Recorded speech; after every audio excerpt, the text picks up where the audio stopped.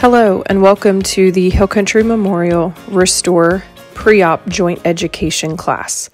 My name is Kelly Schneider. I'm the Restore Program Coordinator. And in this class, you will be educated about what to expect before, during, and after a total hip and a total knee replacement surgery. This book goes along with your guidebook. This is just the way to get the most updated information as we do change things with Restore quite frequently. The second slide you'll see, this is just a little bit of our brag page. This page shows some of the awards and certifications that stand behind the hospital and Restore. The ones that are real important to Restore are the Gold Seal that you see there in the middle of the screen. That is the Joint Commission Gold Seal of Approval. This gold seal was earned back in 2013, and Restore continues to keep the gold seal. In fact, we just renewed our certification and received that gold seal again in January of 2020, and our Joint Commission gold seal approved for another two years. The award on the far right is another one that's very important to Restore and the Restore team. That is the Bill Aston Quality Award given to us by the Texas Hospital Association.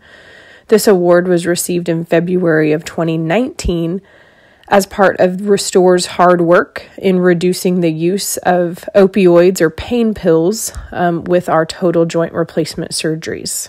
Whether you knew it or not, once you've signed up to have that joint replaced and to be part of Restore, you're now part of the Restore team. The biggest part of the team, of course, is you, the patient. But another really critical role um, of the team, another valuable team player, is that coach. And that coach is that person that you have chosen, whether it's your spouse or a friend a family member, maybe a child, but that is your that's your person. That's who's going to be there for you. They'll be there when you have surgery. They will be there when you do your exercise with the therapy team. They'll be your extra set of ears with all the instructions to provide for you as you go home. Your surgeon, we like to give them some credit. They're a pretty amazing group of individuals, they are definitely a huge part of this restore team.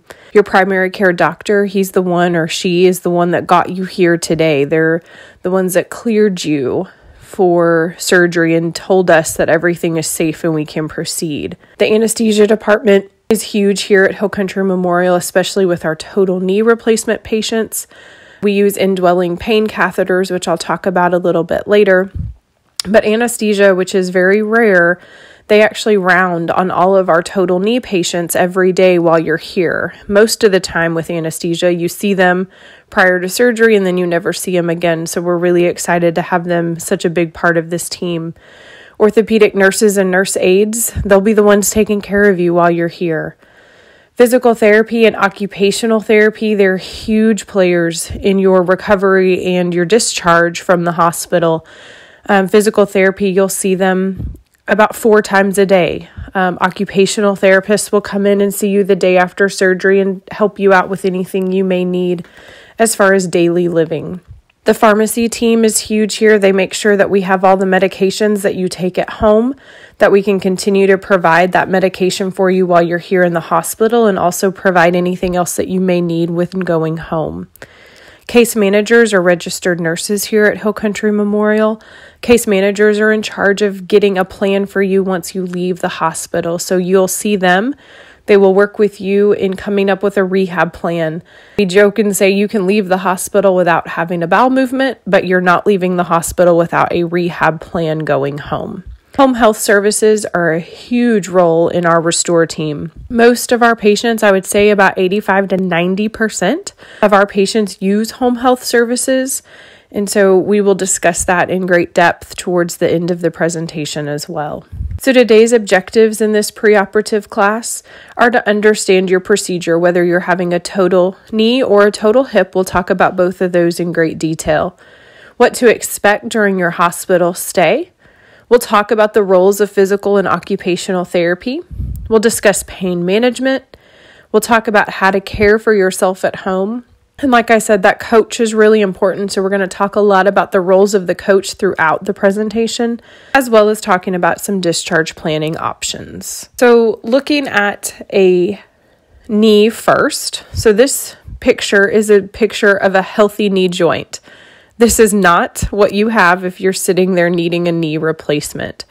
So, the knee joint is made up of a femur, which is your thigh bone, a tibia, which is your shin bone a patella, which is your kneecap, and then healthy cartilage in the middle and kind of lining on those bones. Well, if you're here for a knee replacement, this is probably what your knee looks like. This is an arthritic knee joint or a diseased knee. So, where that healthy cartilage was on the slide before, now that cartilage is diseased, so it's worn away. You'll hear the term bone on bone, and that's exactly what it is. That cushion, that cartilage is worn away, and now you're in pain. You can't sit, you can't stand, you can't step, everything is painful, and that's because that nice cushion is now gone. When we talk about replacing the knee, you can think of it more of a resurfacing of the knee joint. Sounds a little bit better that way too. So when they go in to replace the knee, they'll go in through the front of the knee. They will then resurface the femur or the thigh bone. They'll resurface the end of that and place a piece of metal that is made of cobalt chrome. That becomes your femoral component. Then they'll transition to the tibia or the shin bone they'll resurface that area. And so, resurfacing means making it clean, making that surface nice and pretty and shiny, taking all the disease away. So, they'll resurface that shin bone as well. They'll add in a titanium metal plate with a small stem that goes down into the bone. And between the two pieces of metal, you will have a piece of high polymer plastic. That plastic is guaranteed or is set to last for 25 to 30 years that keeps the metal from wearing on each other. Most of our patients actually get to keep their kneecap. They just resurface the back of your kneecap and place a plastic button so that that kneecap then glides smoothly over the metal and plastic in the knee. Bone cement is used for both the femoral and tibial components of the knee. It's kind of like Quikrete, it dries really fast. Our total knee replacement patients are up and walking within three hours after surgery. Now transitioning to the hip, if you're here if you're attending for a hip replacement, your hip is a little bit different than a knee. So a knee is considered a hinge joint, it just flexes back and forth. A hip, however, is a ball and socket joint. So a hip has the top of we're now at the top of the femur, the top of the thigh bone. There's a ball um, at the end of that femur bone called the head of the femur. And then on your pelvis, there is a socket, or known as the acetabulum, and that is where the head of the femur then inserts into the pelvis, is into that socket. Both the ball and the socket are lined with articular cartilage, and just as we talked about in the knee, that articular cartilage is there for protection and for smooth gliding and comfort of those joints. Well, when you have arthritis in your hip, just like in the knee, it becomes diseased, it wears away, it becomes bone on bone. A little different with the hip. Most total hip patients come to us pretty quickly. I've heard knees put it off for 25 to 30 years. You know, you hear, oh, I should have had it done a lot sooner. Most of the time, a hip, they can have just a small pinhole of wear through the articular cartilage, just the tiniest little hole and their pain is already very extreme and very intense. And so they'll come to us a little bit sooner to have that hip replaced. So when you're looking at a hip replacement, what they're going to do is they're going to come in on the femur. They're going to remove your head, the ball, off of your femur. They will then put in a rod, a metal rod, down into the femur that has a new head on it or a new ball um, on the top of that femur.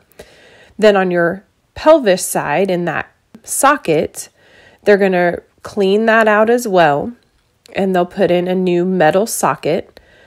That socket is where your high polymer plastic liner is in, and then the ball and the socket come together. There is a screw up through the acetabular component of the hip, but there is no cement used in total hips. Total hips also are up and walking about three hours after the surgery. So, the approaches for the total hip most of our total hips at Hill Country Memorial, if you have Dr. Ramonic or Dr. Biker, for sure, they're going to be doing an anterior total hip. So, that anterior approach is an incision in the front of the hip. It doesn't require movement of the major muscle groups, so it's a lot of muscle sparing. Usually, the recovery is a lot faster, pain is a little bit less. Um, and of course, your risk for dislocation is less. It's not gone, but it is less. Another option may be an anterior lateral, lateral approach.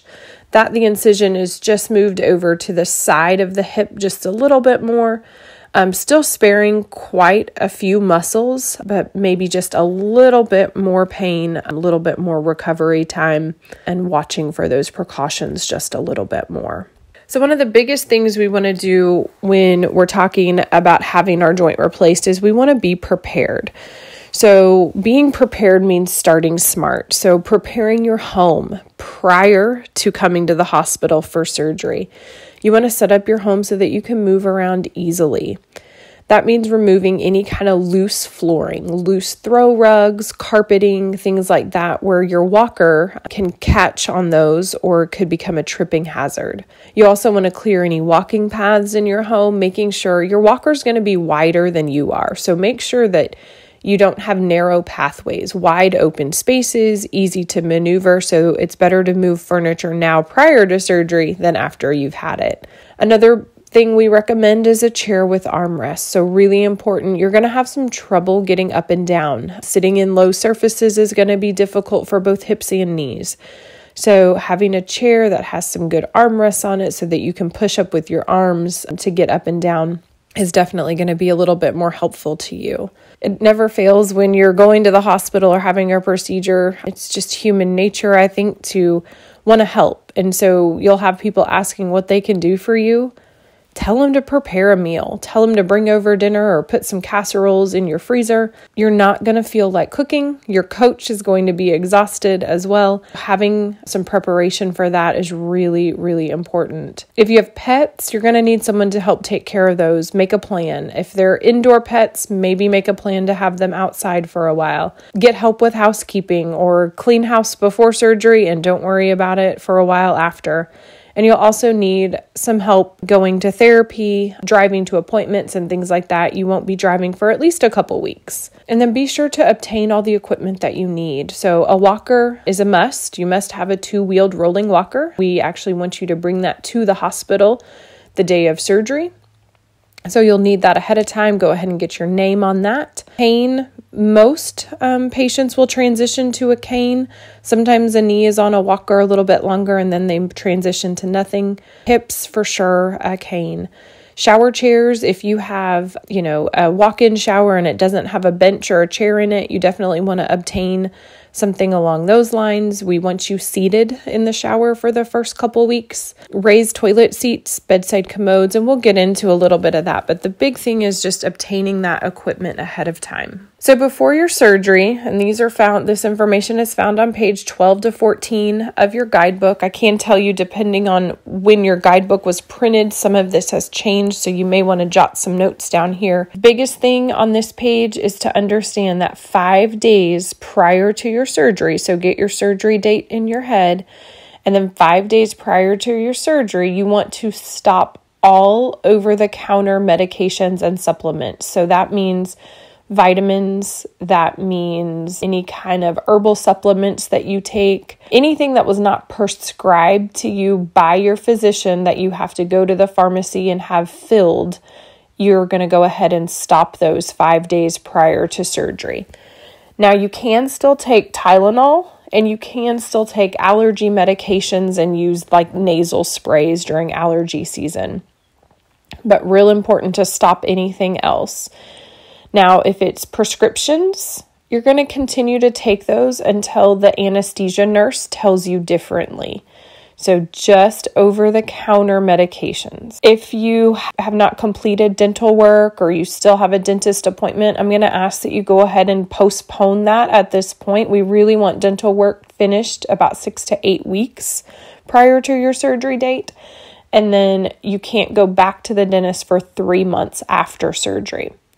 If you're a smoker, we ask that you really work on trying to stop, find ways to stop smoking. Smoking decreases um, your body's ability to heal, it slows that healing process. So it's real important that we can try to um, heal quickly and not have things interfering with that.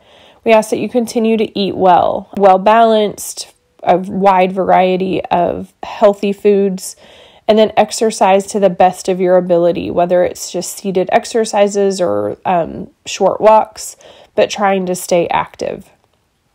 Now, the following I'm going to need you to go and purchase. If you don't have these at home already, I'm going to have you purchase them ahead of time. I want you to get them and then leave them at home. Set them where you would set medicines, kitchen table, kitchen counter, bathroom, wherever you keep medicines, but have these available for yourself once you get back home. So, we're going to want a stool softener, and that can be like a Colace, um, a laxative, patients like Miralax, milk of magnesia, a bottle of Tylenol, whatever strength you prefer, a bottle of aspirin, and that's coded 325 aspirin, and then an over the counter NSAID of your choice. And NSAIDs include Aleve, Advil, Motrin. You have meloxicam or Celebrex, those are considered NSAIDs. So you're going to get those few items and have them at home. This is going to be your pain protocol, your blood thinner, and your stool softener um, laxative for bowel movements. I did have a patient call me and specifically wanted me to tell every patient that cherry flavored milk of magnesia worked great for her. So I do pass that information along. If you've never taken a stool softener, it may be something you want to consider trying a few days before surgery to see how your body responds. And then please remember you cannot, under any circumstance, obtain a pain medication prescription prior to surgery. You have to have the surgery. We have to determine which medication works best for you, and we will take care of getting that to you prior to you leaving the hospital. So, right now, just purchase those over the counter medications for me.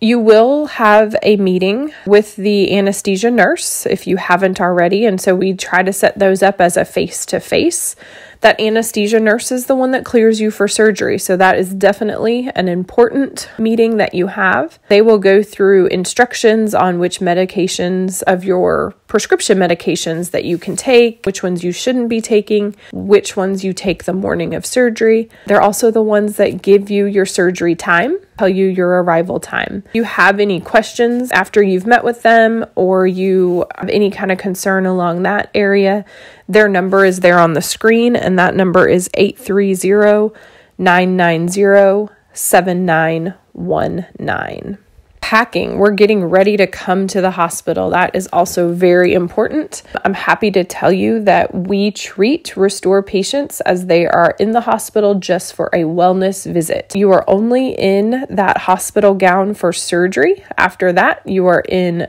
comfortable clothing. Our length of stay right now is about 1.5 days. So most of our patients are having surgery one day and they're going home the next afternoon. That being said, I do like patients to be prepared. So if you would pack for about a three day stay, I promise you won't be there that long, but have a little bit of extra. Things happen, spills occur.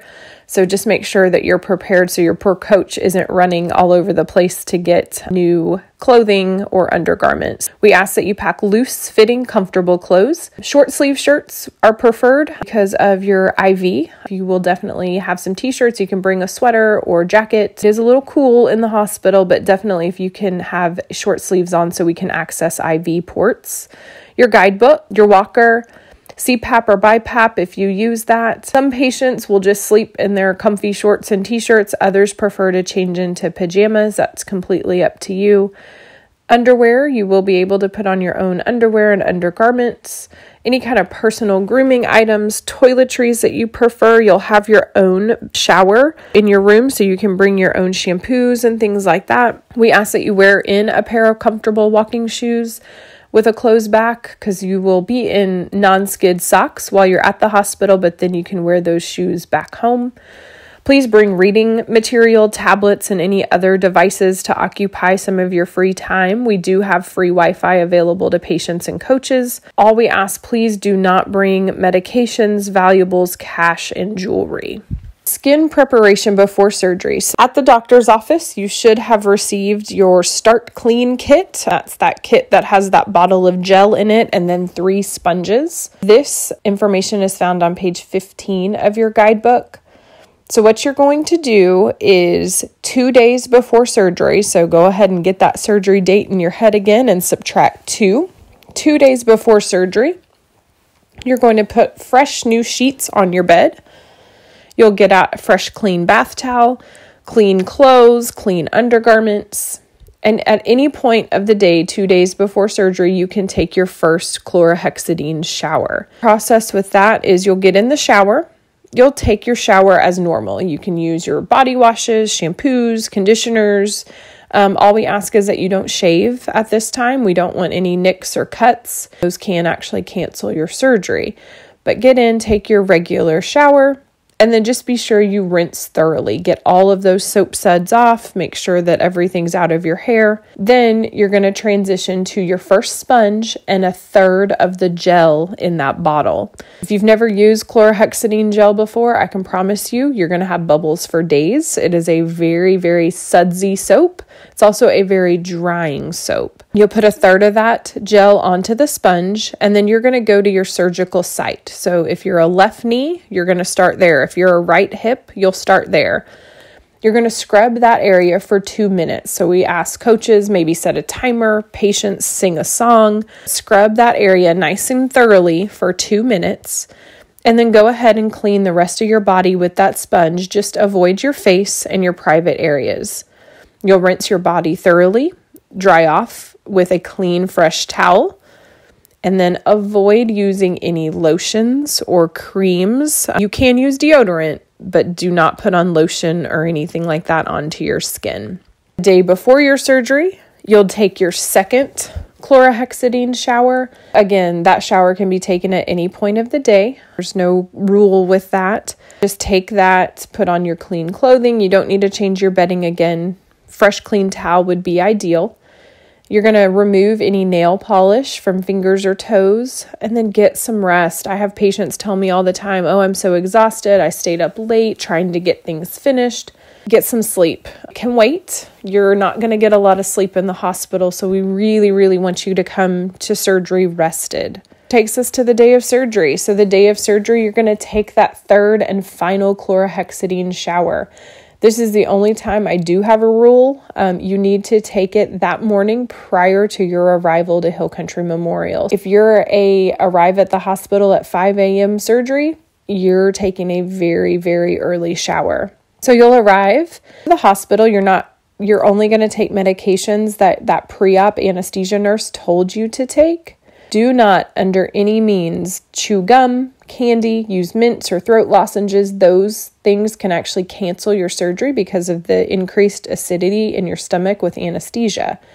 If you have advanced directives, please bring those with you to the hospital. This is a little different. This is what people start to look at me a little strange when I'm teaching this in front of them. So, on your way to the hospital, you know, you're not going to have eaten or drank anything after midnight but I do want you to consume 8 to 12 ounces of water on your way to the hospital. Now, no coffee, tea, or milk or anything. I mean, water, plain Jane water, not sparkling, not flavored, just water, 8 to 12 ounces. Now, once you arrive at Hill Country Memorial, no more. Go ahead and leave it in the car, throw it in the trash. But you'll arrive at your assigned time. You'll check in at the admissions entrance. You'll be escorted up to the Restore unit, which is on 2 South. You and your family, your coach, will be directed to your assigned room. We pre assign those rooms the week before. They're private rooms, and so you'll have that room to yourself. Your surgeon, the anesthesia team, the nurses, everybody knows that that's your room. And so that's where they're going to look for you and they're going to look for your family. So we do prep for surgery now in the patient's room. And so that is something that patients have really started to enjoy. They feel like they're more at home.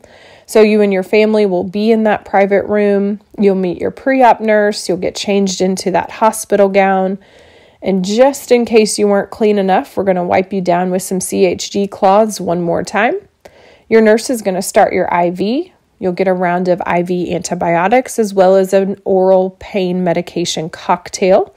And a scopolamine patch, which is just hospital grade dramamine, will be placed behind your ear to reduce your risk of nausea and vomiting after surgery. Pictures of what your room looks like.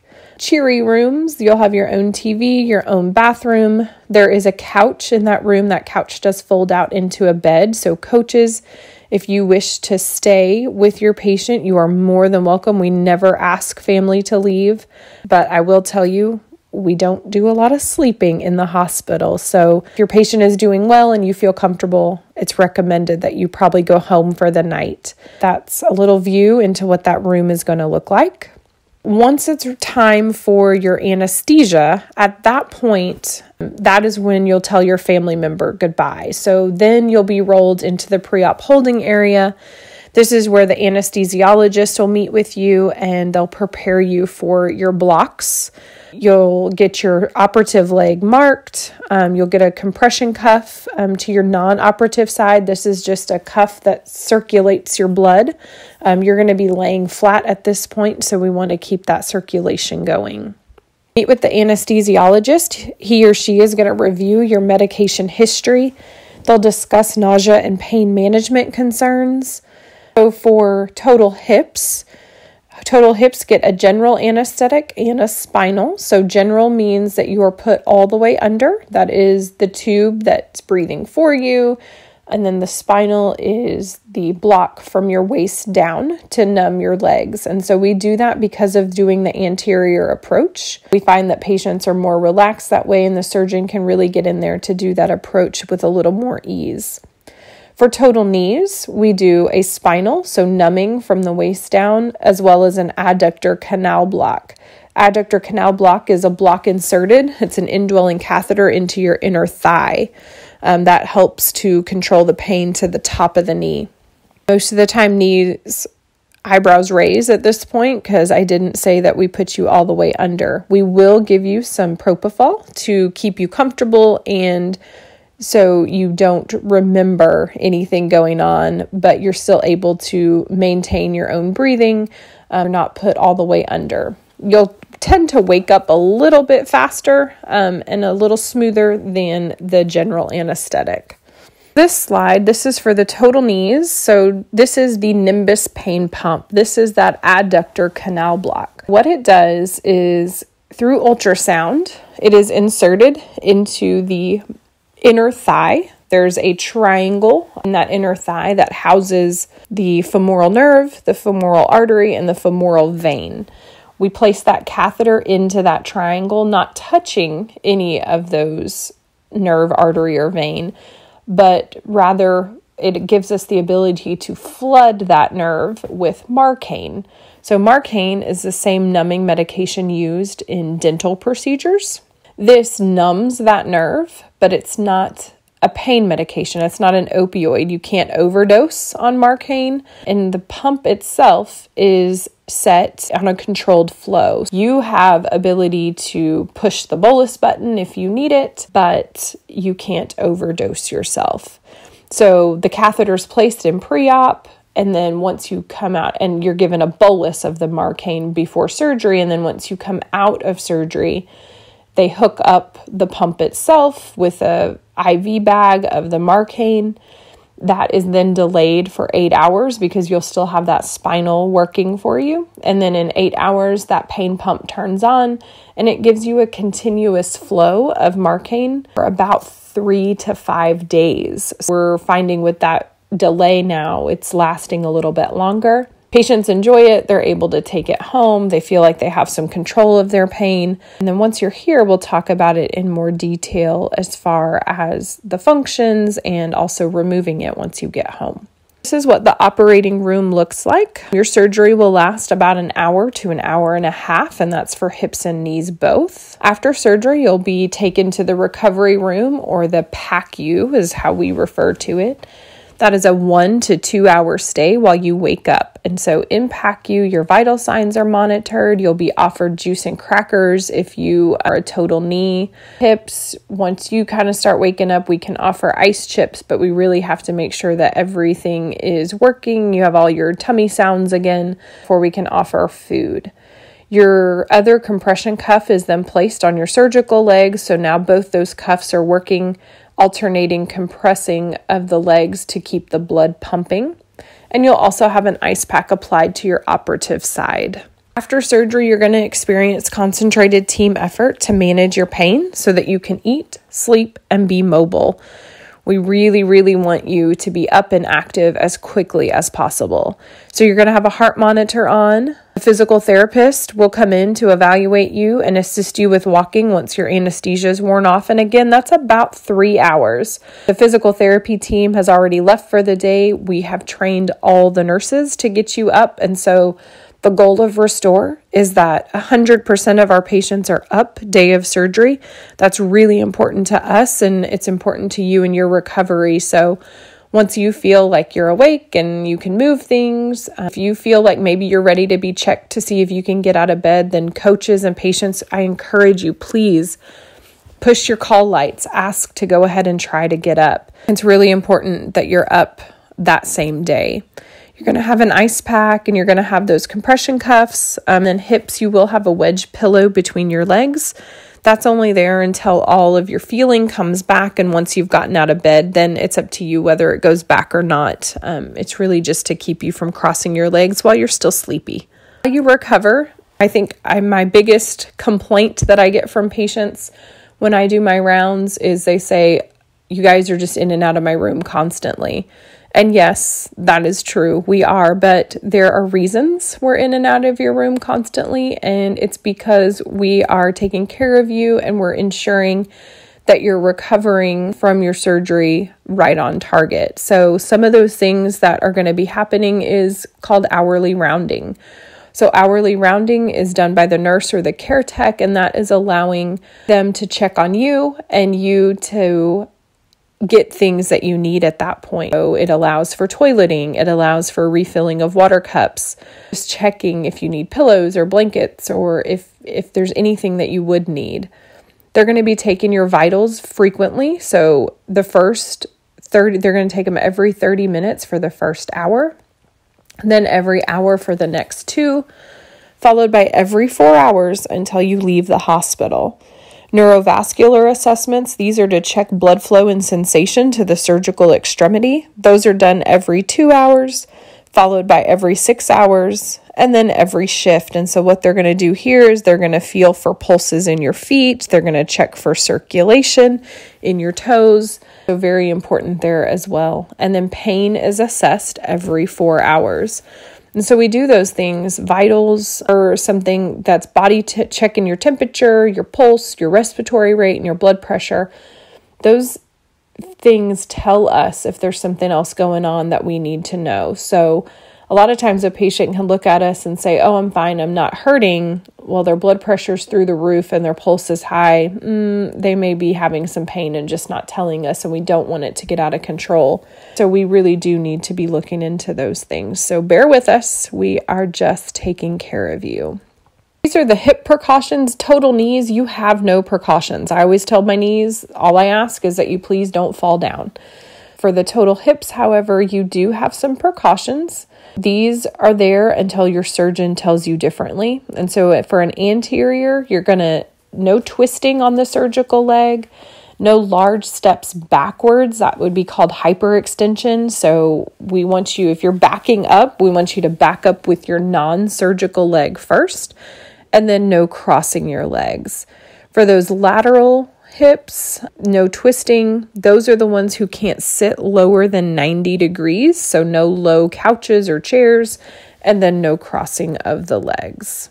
Management. So, this is something that most patients really want to know about, and how are we doing it? You're going to have scheduled oral pain medications. Those scheduled pain medications are over the counter. So, we're scheduling Motrin and Tylenol unless for some reason you can't have one or the other of those.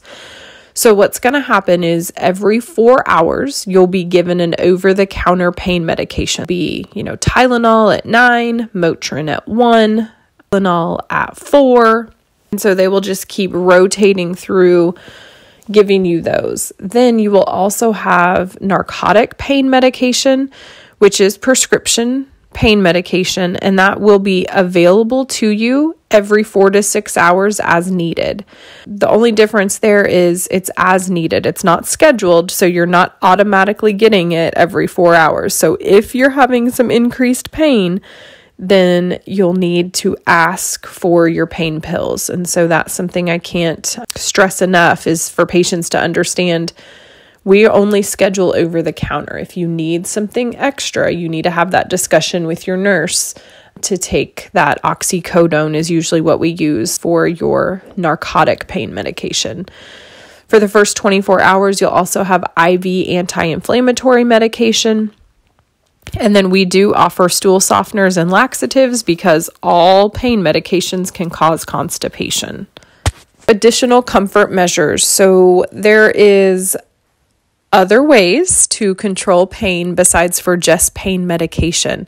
Some of those include elevation. And so, elevation is laying flat in bed, getting the foot up above the level of the chest, reducing swelling, sitting in the recliner with your feet up, changing positions often. So, you know, sit with your feet down, sit with your feet up, get in bed, get out of bed, getting up and walking, moving around. So, if you've been sitting for more than two hours, you need to push your call light and you need to ask to get up. So, the long periods of time being still um, can actually increase your pain. Cold therapy, we use gel ice packs. They freeze in two hours and thaw in two hours. They're completely safe to use 24 hours a day. So, coaches, that's one of those things. Please feel free. There's a freezer in every patient's room. Please feel free to change those ice packs frequently for the patient. Ice really does provide some decreased pain. It also helps with some of the inflammation and swelling. So, we encourage those ice packs. The pain scale. Not a single person likes it. Also, very few people understand it. So, I'm going to try to explain it to you the best I can. You're going to be asked to rate your pain on the pain scale every four hours. Our expectation is that patients remain at about a three to four. So, what does that mean exactly? So, zero is no pain. We've had patients report no pain. It is possible it's not reality. Don't come having your joint replaced expecting to be in no pain. There are no promises there. We expect you to hurt. We expect your pain to get worse and to get better. Or a three to four is I'm comfortable. So I know I've had surgery, but I can still carry on a conversation with the people in my room. Greater than four, that's when you start having difficulty sleeping, Maybe you can't walk as well. You can't carry on a conversation. You've read the same line in a book a million times. So when you start hitting seven, eight, we really need to work hard with the nurse and trying to get your pain controlled. 10 out of 10, that is the worst pain you've ever had in your entire life. You're crying, you're miserable. Most patients would rather be dead than to have 10 out of 10 pain. What I'll tell you here is that when you're sitting in the chair or you're lying in bed, your pain should be less than four. That's kind of the expectation. Now, when therapy walks in the door, you've gone to group therapy class, that's a little different. Your pain should increase when you're walking, your pain should increase when you're exercising. For it to get to a seven or eight, that's probably normal. But 15, 20 minutes after that has occurred, once you're sitting and resting again, it should go back down to a four or less. Now, if that's the case, your pain is actually perfectly controlled.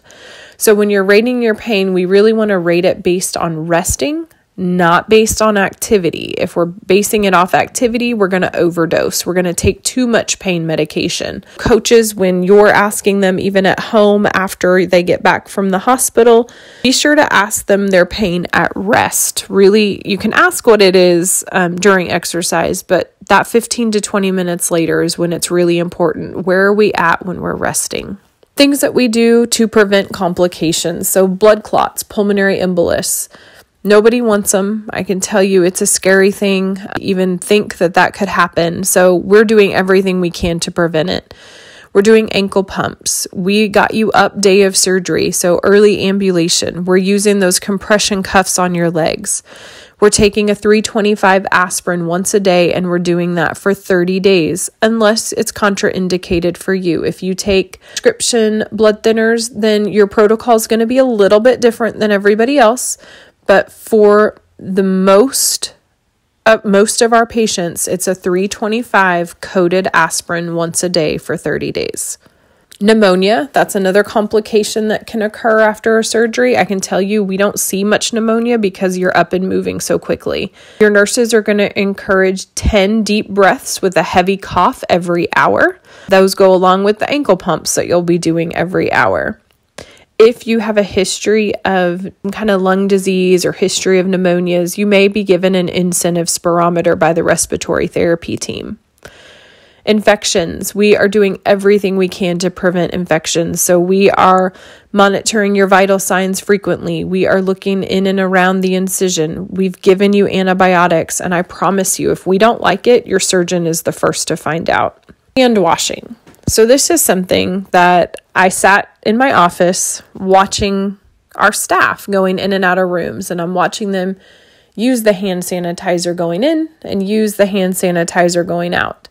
Well, then I would watch family members come to visit. They were coming from HEB, they were coming from church, grandkids were coming from school, and they're coming in and they're hugging and kissing on grandma or grandpa, and they weren't washing their hands. And so it got me thinking why, as staff, you know, we, we're required to do that, but why aren't we asking our visitors to do that? So, coaches, that's another thing I'm asking from you.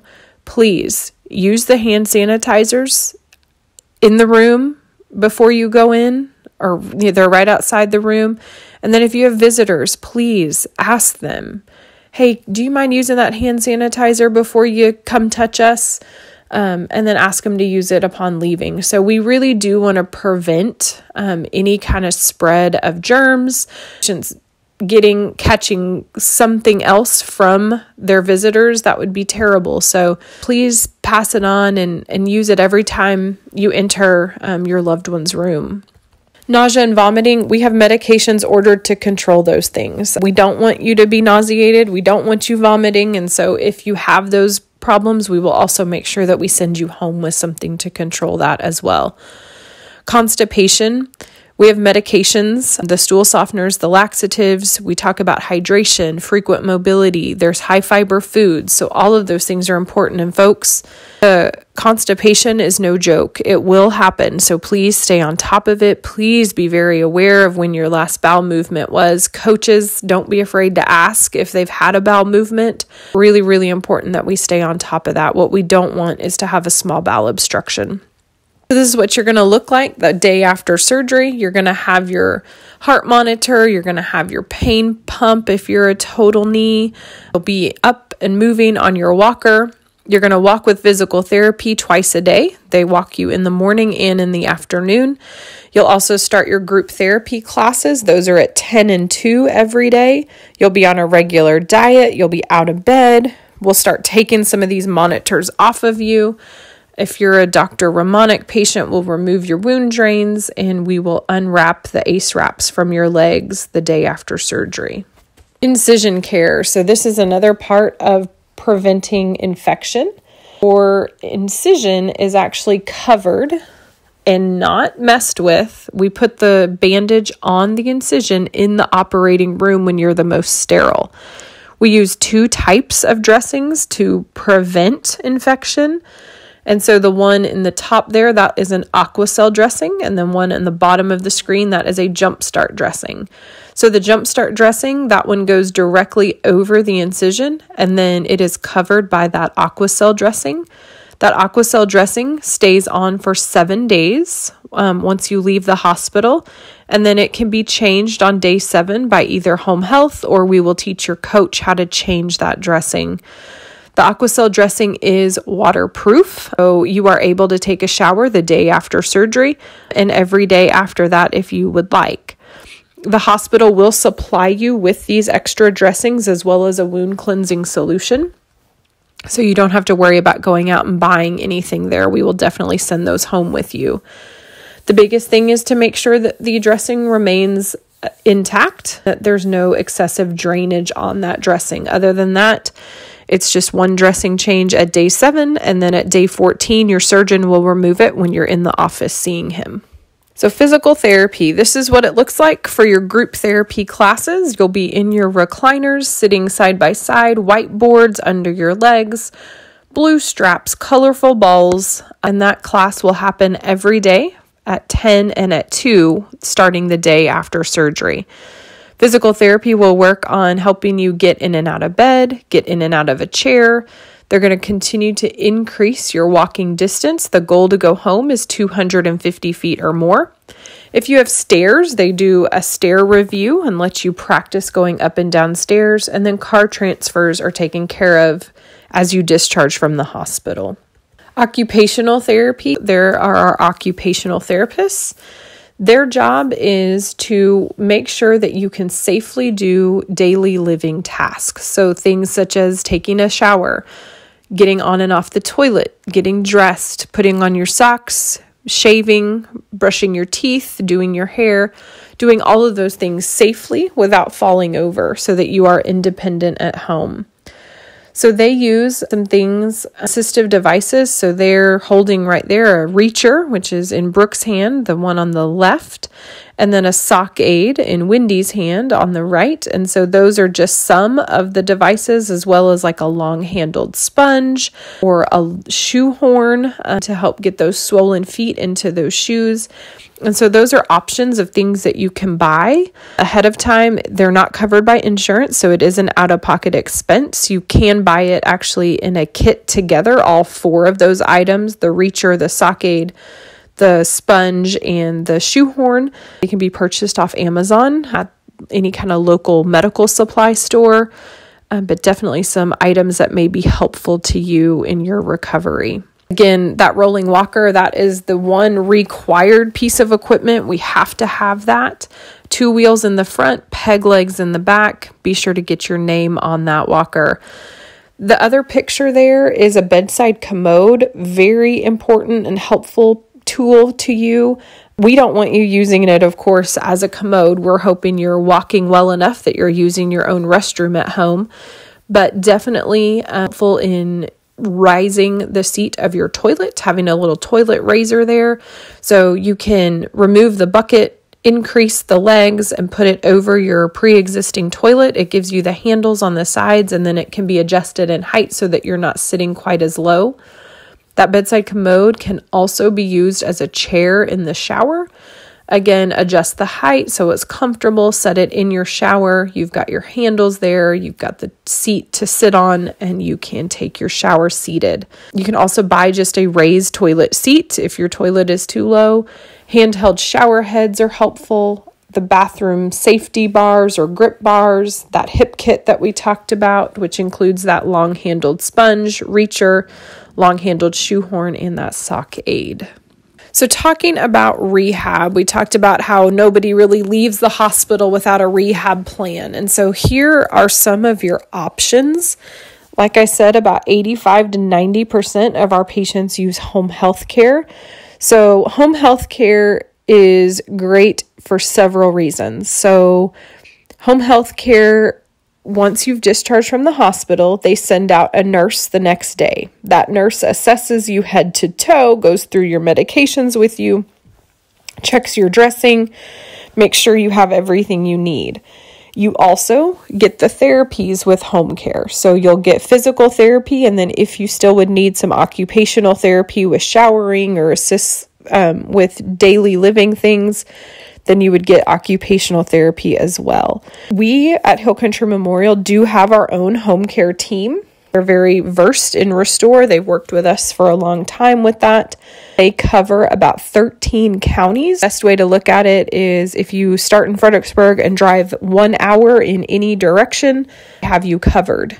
If you can't, if you're further than that and you can't use our home care, our case managers do know of several home care companies in all areas, so we can get that set up for you.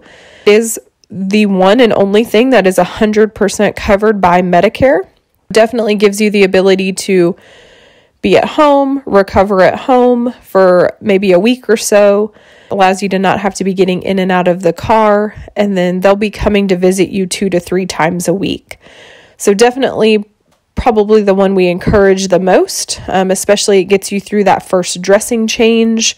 And then by two weeks out, you'll be going back to the doctor, and usually your surgeon at that point will tell you to go ahead and transition to outpatient. And so, outpatient is where you're going to a therapy clinic. Um, so, you would have someone drive you to their facility.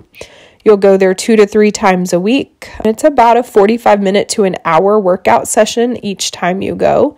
You can go straight from the hospital to outpatient too. Like if you go home and you don't want home health, you don't you want to be more aggressive, then outpatient is definitely a good option for you.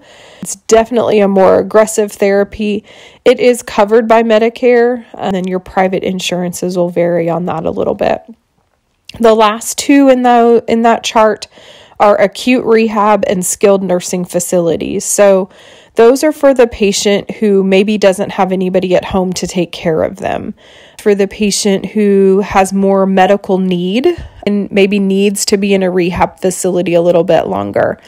So, those need to be approved by insurance. Once you're approved, then the then you would go and reside there in that facility. Examples of acute rehab unit, the closest one to us is Sid Peterson Rehab.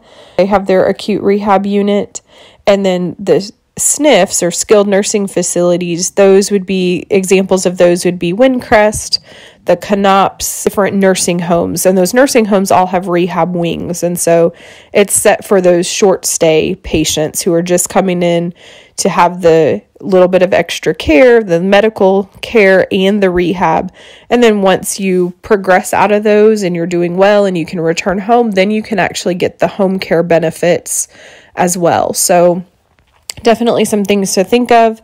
Case management will be by, as well as our home care team. If you choose home care, they'll come by and visit with you and discuss in more detail what that's going to look like. Something we want you to think about the decision can't be made until you've had surgery. We can't really set anything up until surgery is done and the physical therapist has done that initial visit with you in the hospital but we definitely want you to have a plan. We're going to ask for it that we can go ahead and get that set up. So once you have surgery, definitely ask what your rehab plan will be. When you're leaving the hospital, uh, get in the front seat on the passenger side of your own vehicle. If you live more than two hours from the hospital, we ask that you stop, get out, walk around the car a little bit, or even if you become uncomfortable, that you stop. No air travel for the next 30 days. You need to be cleared um, from your surgeon to go ahead and do that travel. This very last slide is just my hope for you is that maintaining a positive attitude improves your chance of a successful outcome. And I not only say that for you, the patient, to remain positive throughout this, but that is always my hope for our staff. I hope that when you're here at Hill Country Memorial, you find that the staff loves to be here. Restore truly is a team effort. We work hard. We I hope that you're going to find smiling faces and people who are really there to encourage you for you to have the best outcome that you can. Those pictures are just pictures of our previous patients. The lady on the horse, um, I think, has had a couple shoulders and knees replaced with us, and her goal was to get back to roping and barrel racing again, and she is um, doing that very successfully at this point. And then the gentleman has had both knees replaced with us, and he just wanted to dance with his wife again, and he did. And so there is hope after joint replacement. Um, the pain will eventually go away once the joint is replaced and your ability to return to your normal life and free life will be available to you. So, I hope this was helpful. Please reach out to me if you have any questions or concerns or need any follow up with this pre op class. So, again, my name is Kelly Schneider. I am your Restore Program Coordinator at Hill Country Memorial Hospital. My email, if you want to email me questions, is K Schneider. That's K S C H N E I D E R at hillcountrymemorial.org, or my direct line to call me is 830 990 6134. Again, that's 830 990 6134. I really hope this was helpful. Please make sure that if you need more information, you reach out or you can watch the video again. Again, this is a required part of your pre op process in order to have your joint replacement surgery. I'll see you soon. I hope you are doing well, and we'll see you on surgery day. Thank you.